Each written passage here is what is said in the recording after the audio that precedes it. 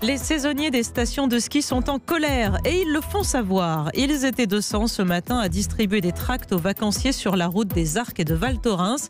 Ils dénoncent les nouvelles règles de l'assurance chômage qui les obligent à travailler plus longtemps avant d'être indemnisés. Pascal Clavery, pisteur secouriste aux Deux Alpes et délégué Force ouvrière, explique les raisons du mouvement. C'est même pas que c'est très important, c'est que c'est vital. Et on parle juste de venir avec des indemnisations qui sont au niveau du seuil de pauvreté. Donc ça veut bien dire ce que ça veut dire. Le seuil de pauvreté permet à peine de survivre en France. Et nous, on est dans des endroits où la vie est encore très chère, puisque ce sont des endroits touristiques. Qu'allons-nous devenir? On est déterminé vraiment absolument à préserver notre mode de vie. Il faut savoir que dans la société, c'est un contrat sur huit est un contrat saisonnier en France et nous représentons 7,3% du PIB de la richesse nationale française. Donc c'est dommage qu'on ait carrément les oubliés de la réforme. Des propos recueillis par Marion Gauthier pour Europe